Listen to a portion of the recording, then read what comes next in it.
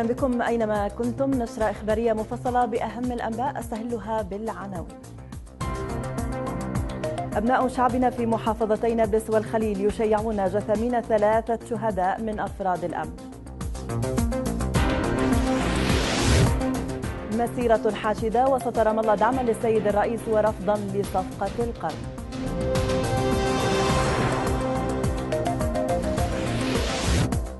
سلطات الاحتلال تفرض قيودا مشددة على دخول المزارعين في سلفيت لأراضيهم.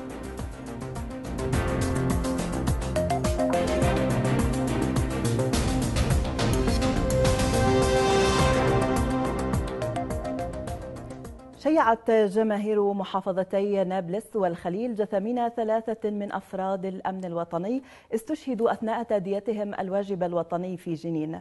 وكان أعلن أمس عن استشهاد ثلاثة من عناصر الأمن الوطني وإصابة خمسة منهم بجروح مختلفة جراء حادث سير ذاتي وقع في بلدة برقين بجنين. خرج مئات المواطنين في مسيرة حاشدة وسط رام الله دعما للسيد الرئيس محمود عباس ورفضا لصفقة القرن الأمريكية التي تنتقص من حقوق شعبنا. وأكد المشاركون في المسيرة دعمهم وتأييدهم للسيد الرئيس ومواقفه الصلبة المحافظة على الثوابت الوطنية خاصة في ظل المحاولات الأمريكية الإسرائيلية لتصفية قضيتنا. نتابع المزيد مع ميساء الأحمد. دعما وإسنادا للسيد الرئيس محمود عباس والقيادة في حراكها السياسي والدبلوماسي في مواجهة صفقة القرن المسمومة. انطلقت مسيرة جماهيرية حاشدة وسط مدينة رام الله بدعوة من حركة فتح والقوى الوطنية والإسلامية. كل المحاولات الأمريكية لإحداث اختراق في جدار تماسك الشعب الفلسطيني لا يمكن أبدا أن تنجح خرجتم اليوم لتقولوا أن أبو مازن والقيادة الفلسطينية ليسوا وحدهم في مواجهة صفقة العصر. شعبنا متكاتف ومتصل كل بذاته بكل مكوناته. وندعو كافة كافة الأطر التنظيمية وكافة المؤسسات للتبوتك في خندق واحد خلف القيادة حتى يتسنى لنا جميعا بالتسامي على الجراح وعلى كل الخلافات. المشاركون أكدوا أن كل المؤامرات التي تحاك من قبل إدارة ترامب لصالح إسرائيل وعلى حساب حقوقنا الوطنية المشروعة وحلم إقامة دولتنا المستقلة لا يمكن أن تمر وذلك نتاجا لصلابة موقف القيادة الوطني. لا يمكن القفز على الفلسطينيين في حل إقليمي كما ثبت بالملموس عندما جاء الوفد الأمريكي ليتحدث مع قادة الدول العربية الذين أكدوا أن أي حل في هذه المنطقة لا بد أن يستند إلى حق الشعب الفلسطيني بإنهاء الاحتلال أولا ووصول الشعب الفلسطيني إلى حقه بالعودة وإقامة دولته الفلسطينية المستقلة كاملة السيادة وعاصمتها القدس. كما طالب المشاركون بضرورة استعادة الوحدة الوطنية وتمكين لحمة الجسد الفلسطيني في مواجهة صفقة القرن وغيرها من المؤامرات الاحتلالية الإحلالية. المشاركون أكدوا أن ما تسمى بصفقة القرن كوصفة لضياع شعبنا وقضيتنا العادلة لن تمر مهما كلف الأمر من ثمن. ميساء الأحمد تلفزيون فلسطين رام الله. في الوقت الذي تواصل فيه القيادة مواقفها الصلبة الرافضة لصفقة القرن التي تنتقص من حقوق شعبنا. تجري حركة حماس مباحثات غير مباشرة مع حكومة تل أبيب للتوصل إلى صفقة بشأن الأوضاع في غزة وذلك بعلم الإدارة الأمريكية. نتابع في التقرير التالي. فشل المحاولات الإسرائيلية الأمريكية في إخضاع أو التأثير على القرار الوطني الفلسطيني المستقل. يجعل دوائر وصناع السياسة في واشنطن وتل أبيب يبحثون عن بدائل ضاغطة لعل أخطرها محاولات تحويل القضية الوطنية من استقلال وسيادة وإنهاء الاحتلال عن الضفة الغربية والقدس والحصار عن غزة إلى قضية إغاثية موسمة بمشاريع اقتصادية تسمى زورا إنسانية بعيدا عن الحلول الجذرية للقطاع المحاصر احتلاليا والمختطف حمساويا. خطورة اختطاف القطاع بالانقلاب لتجسيد الانقسام والفصل تزداد حدتها مع ما كشفه السفير القطري محمد العمادي حول مباحثات غير مباشرة بين حماس وإسرائيل بوجود أمريكي لتمرير خطة ما يسمى تحسين الأوضاع الإنسانية والحياتية في قطاع غزة. المباحثات التي تتم في الظلام وإلى المجهول وإن حملت في شكلها تخفيف بل تجميل الحصار الإسرائيلي تتضمن بعدا أكثر خطرا وتمهيدا لتمرير صفقة القرن التي صدقت الرئاسة عندما أعلنت قبل أيام أن الصفقة تحولت إلى صفقة غزة. هذه المحاولات الإسرى أمريكية إن وجدت تجاوبا من حماس كسلطة أمر واقع في غزة تنذر بتعزيز فكرة الانقسام وإحداث ثغرة في جدار الوحدة الوطنية ووحدة الوطن وفصل غزة المكون الأساسي للدولة الفلسطينية التي قدم من أجلها شعبنا آلاف الشهداء والجرحى والأسرى. ما تحدث عنه السفير القطري وما يتضمنه من تسوق حماس مع الحلول الإغاثية على حساب مركزية القضية وما تكشفه المصادر الدبلوماسية والإعلامية حول تشاؤم إدارة ترامب في إنجاح صفقة القرن بسبب موقف السيد الرئيس محمود عباس يفسر كذلك تسارع محاولات البحث عن البديل الجاهز لمنظمة التحرير والرئيس محمود عباس ومواجهة موقفهما المبدئي بأنه لا دولة في غزة ولا دولة دون غزة وكذلك موقفهما منذ إعلان إدارة ترامب الاعتراف بالقدس عاصمة لإسرائيل ونجاح القيادة الشرعية بتحقيق الإنجازات المتراكمة في الساحة الدولية إلى جانب دعم الأشقاء العرب وفشل موفدي ترامب في إحداث صدع في العلاقة الفلسطينية العربية. نظير فالح تلفزيون فلسطين. شدد رئيس الوزراء دكتور رامي الحمد الله على أن المقدسيين يشكلون خط الدفاع الأول أمام اعتداءات الاحتلال مجددا تأكيده على أولوية القدس لدى القيادة والحكومة. وأدان رئيس الوزراء خلال استقباله مفتي القدس والديار الفلسطينية الشيخ محمد حسين أدان التصعيد الإسرائيلية بحق القدس والمقدسيين مجددا مطالبته المجتمع الدولي باتخاذ خطوات فورية لتوفير حماية دولية لشعبنا. ومقدساته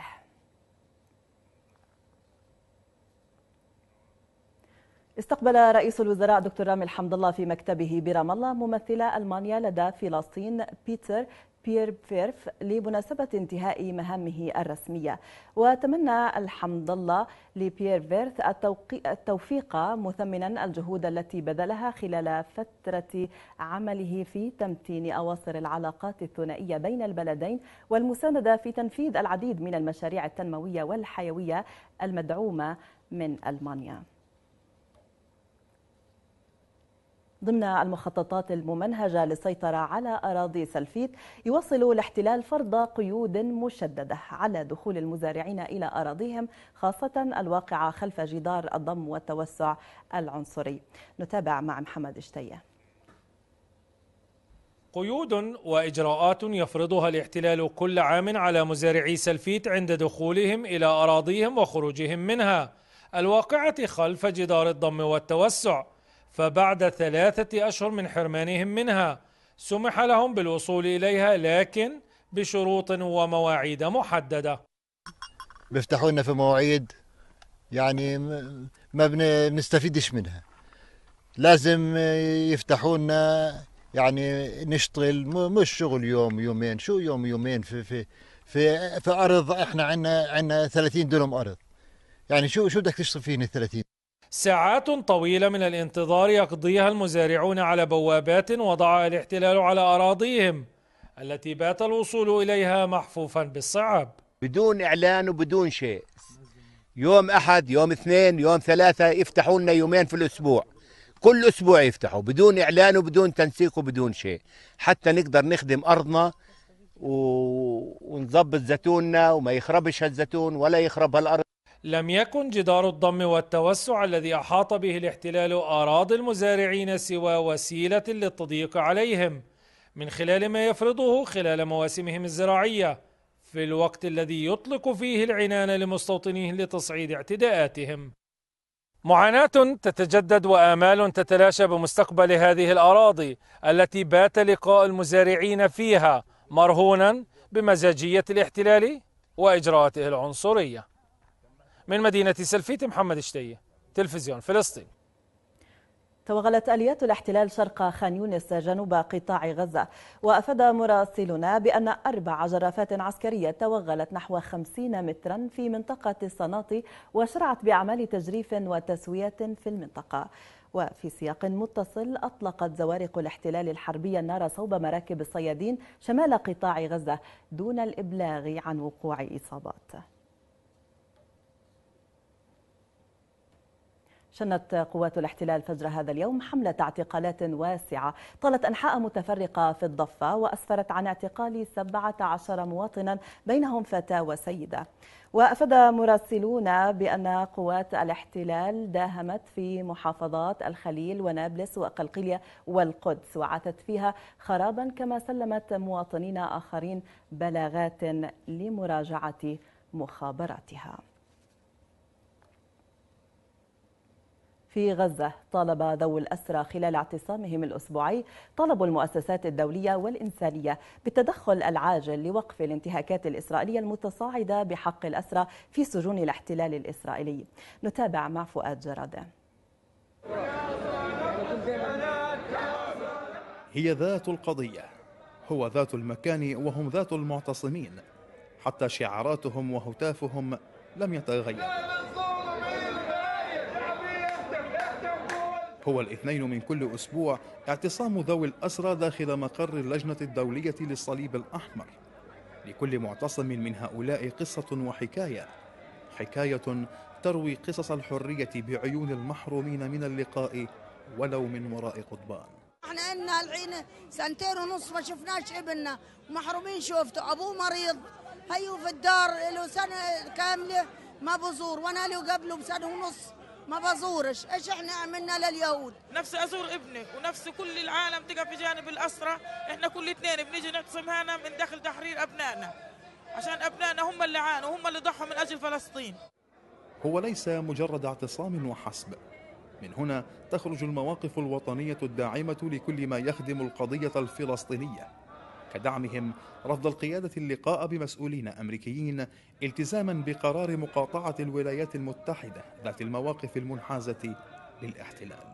الرئيس الفلسطيني محمود عباس رفض استقبال مبعوث وزير الخارجية الأمريكية ومبعوث ترامب كوشنير وهذا الموقف يحتاج منا أن نتوجه بالتثمين العالي لسيادة الرئيس لرفضه لمقابلة أي أحد من الإدارة الأمريكية.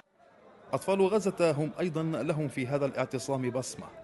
وسندوا الأحرار على طريقتهم بفلسطينيتهم البحتة. أنا بابا كان أسير وماما مرت في هذا الوجع وفي هذا الألم ومرت في هاي المعاناة. فأنا أجد أتضامن مع كل أم أسير وأخت أسير ومرت أسير وبنت أسير. ملف الأسرى هذا الملف الوحيد الذي لا يأفل. نجمه من مجرة القضية الفلسطينية ولا يتأثر بالمستجدات السياسية ولا الأطروحات ولا حتى المبادرات. فالزمن بالنسبة لهؤلاء قد توقف منذ زمن ولن تعود عقارب ساعتهم إلى الدوران إلا بتبييض السجون. من أمام اللجنة الدولية للصليب الأحمر بغزة فؤاد تلفزيون فلسطين. استأنفت السلطات المصرية هذا اليوم فتح معبر رفح البري أمام حركة المسافرين في كلا الاتجاهين. وكانت السلطات المصرية قد أعلنت الجمعة الماضية عن إغلاق المعبر لثلاثة أيام. احتفلت إذاعة صوت فلسطين بالذكرى الرابعة والعشرين على انطلاقتها عام 94 وفي هذا السياق أعرب المشرف العام على الإعلام الرسمي الوزير أحمد عساف أعرب عن اعتزازه بالمكانة التي وصلت إليها الإذاعة مؤكدا بأن صوت فلسطين سيبقى صوت الحق المدافع عن حقوق شعبنا والفاضح لجرائم الاحتلال. هديل شوامرة والتفاصيل.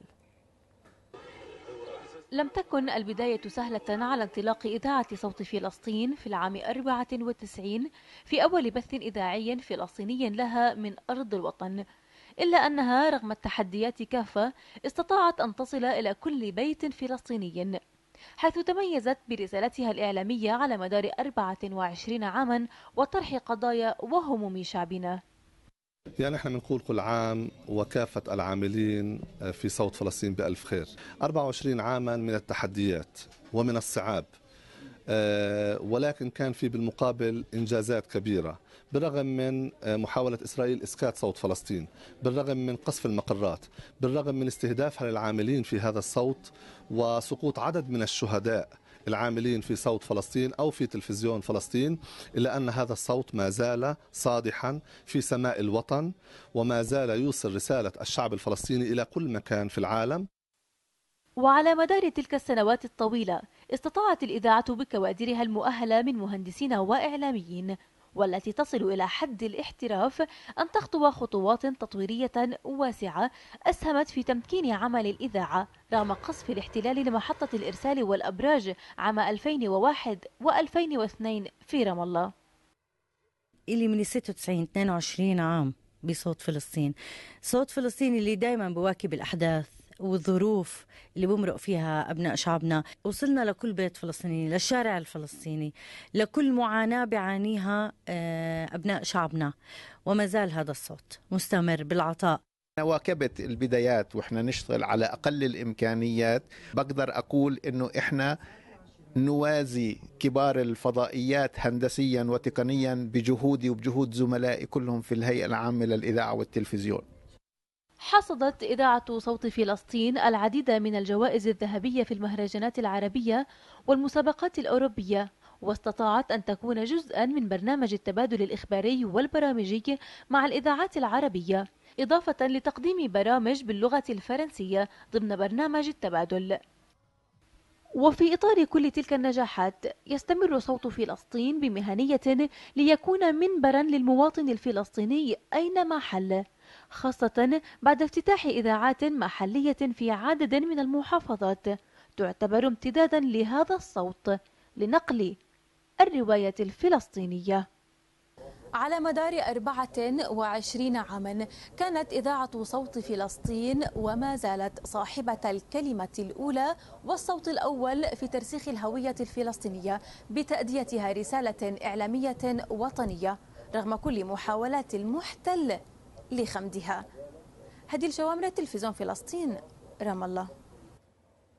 على الصعيد الدولي حقق المرشح اليساري أندريس أوبرادور انتصارا في الانتخابات الرئاسية المكسيكية وفق ما أفادت به تقديرات رسمية للمعهد الوطني الانتخابي المكسيكي.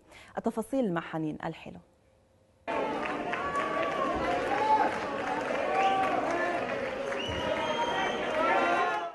للمرة الأولى في تاريخ البلاد الحديث تمكن اليسار من الوصول إلى السلطة في المكسيك بعدما حقق أندرياس مانويل لوبيز أوبرادور فوزا تاريخيا في الانتخابات الرئاسية التي جرت أمس بحصوله على أكثر من 53% من أصوات الناخبين في الاقتراع متقدما على أبرز منافسيه ريكاردو أنايا وخوسي أنطونيو. وبهذا الفوز سيحصل اليسار الممثل بحزب لوبيز أوبرادور الذي سيتولى مهامه في كانون الأول المقبل على الأغلبية في مجلس النواب ب 250 مقعدا على الأقل حيث أن المنافسة في الانتخابات جرت على أكثر من 18 ألف منصب بينها مقاعد مجلس الشيوخ البالغ عددها 128 هذا إضافة إلى حصول اليسار على مقاعد ستة حكام من أصل تسعة في الولايات. وسيكون على لوبيز أوبرادور مواجهة تحديات كبيرة. فإلى جانب مكافحة الفساد المستشري في البلاد سيكون عليه تنفيذ وعده في الحملة الانتخابية بالرد على ترامب الذي هدد بإلغاء اتفاق التبادل الحر لأمريكا الشمالية. كما وعد بالقضاء على الفقر الذي يغذي أعمال العنف الدائرة هناك. وأتت الانتخابات الرئاسية بعد واحدة من أكثر الحملات دموية في المكسيك منذ عقود إذ لقي أكثر من 130 شخصا مصرعهم. لتلفزيون فلسطين حنين الحلو. استأنفت الكوريتان الجنوبية والشمالية تشغيل شبكة الاتصالات البحرية التجارية العالمية لأول مرة منذ عشرة أعوام لإجراء اتصالات بينهما بصورة سلسة في البحر. وأوضحت وزارة الدفاع الكورية الجنوبية أن هذه الخطوة جاءت في إطار الجهود المبذولة لتنفيذ الاتفاقيات الأخيرة المبرمة بين الكوريتين لنزع فتيل التوترات العسكرية ومنع المواجهات غير المتوقعة في البحر. قال مسؤولون إن حرائق الغابات التي اندلعت في شمال كاليفورنيا أدت إلى عمليات إجلاء للسكان وتسببت في انتشار الرماد فوق منطقة واسعة. وأتت الحرائق على قرابة تسعة ألاف هكتار من الأراضي ولم يتمكن رجال الإطفاء من احتوائها.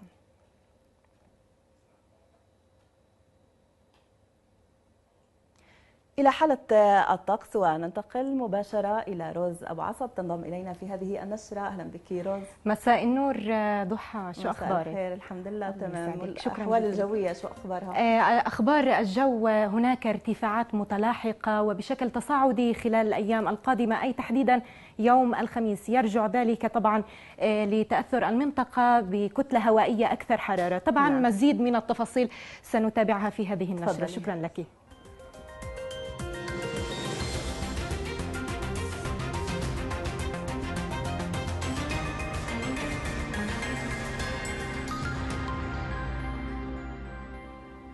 طابت أوقاتكم بكل محبة أعزائي المشاهدين وأهلا بكم.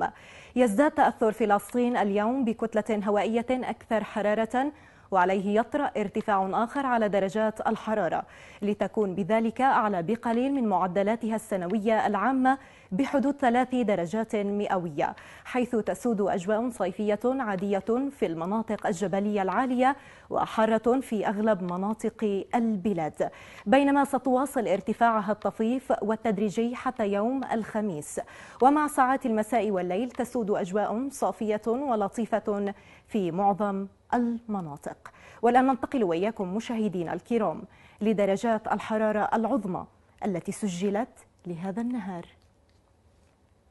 ونبدأ من العاصمة القدس المحتلة 31 رام الله 29 نابلس 32 جنين وطوباس 35 تلكرم وقلقيلية 32 سلفيت 31 بيت لحم 39 بيت لحم 31 الخليل 30 وننتقل وإياكم إلى المحافظات الجنوبية. ونبدأها من غزة 31 دير البلح 32 خان يونس 31 وأخيرا رفح 32 ومن درجات الحرارة في محافظات الوطن إلى العواصم العربية والعالمية.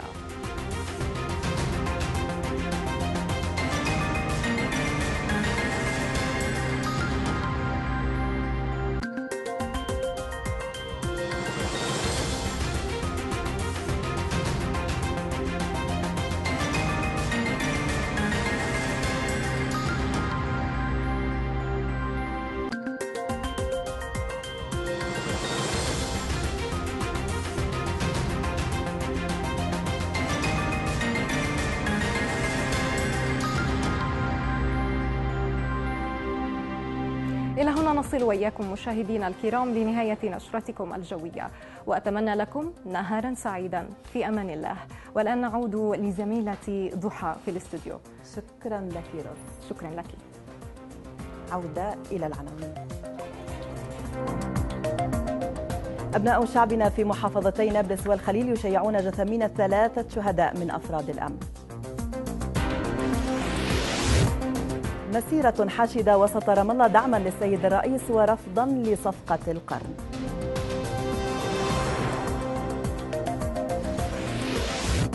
سلطات الاحتلال تفرض قيودا مشددة على دخول المزارعين في سلفيت لأراضيهم.